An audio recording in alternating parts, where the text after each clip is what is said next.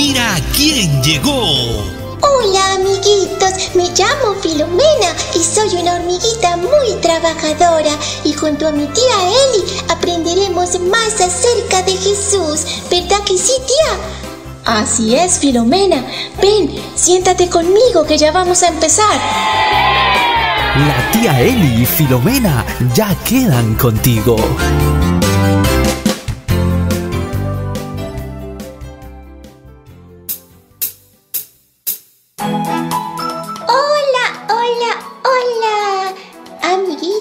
Amiguita que me escuchan. Buenos días a todos.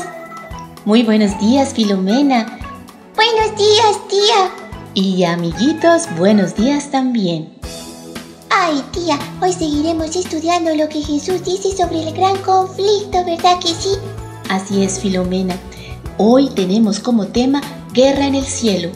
¿Ya tienes lista tu Biblia para leer el versículo de hoy? Sí, tía, ya lo tengo aquí, mira. Apocalipsis 12:8. Dice así, pero no pudieron vencer y ya no hubo lugar para ellos en el cielo. Te contaré una historia con estos jugueticos que tengo aquí. Mira, Filomena. Ay, qué interesante, ¿sabe, tía? Muéstrame. Imaginemos ahora que estos cubitos son los ángeles del cielo. Lucifer, el jefe de los ángeles, es este. Está causando problemas. Mm. Lucifer se volvió orgulloso y egoísta. Sí, quiere que los ángeles lo sigan a él en vez de seguir a Dios.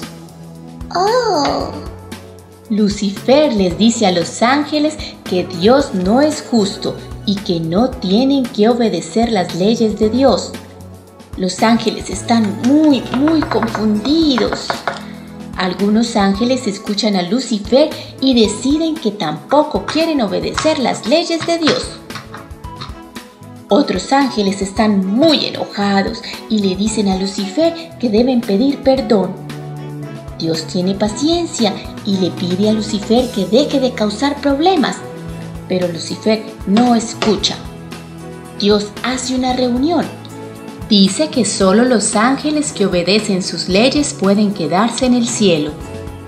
Una tercera parte de los ángeles decide irse con Lucifer. ay, Ahora hay paz en el cielo otra vez, pero se siente el vacío de los ángeles que se fueron. ay, tía. Así fue Filomena. Ay, pero podemos orar a Dios, tía, ¿verdad? Para que nosotros siempre podamos obedecer y no hagamos como esos ángeles que se fueron. Así es Filomena, así que estás lista para la oración. Sí, y tú, amiguito, por favor, únete con nosotros en oración. Cerremos los ojitos. Querido Dios, yo quiero obedecer tus leyes. En el nombre de Cristo Jesús. Amén. Amén. Y tú, amiguito y amiguita que nos escuchas, órale mucho a Dios para que siempre, siempre podamos obedecer todas sus leyes, porque eso le agrada a Dios, ¿verdad, tía? Claro que sí, Filomena. Obedecer a Dios es muy importante y a Él le agrada mucho. No olviden que si Dios permite, mañana estaremos nuevamente aquí para estudiar más de lo que dice Jesús. Con la ayuda de Dios aquí estaremos. Hasta pronto, amiguitos. Hasta pronto, queridos amiguitos.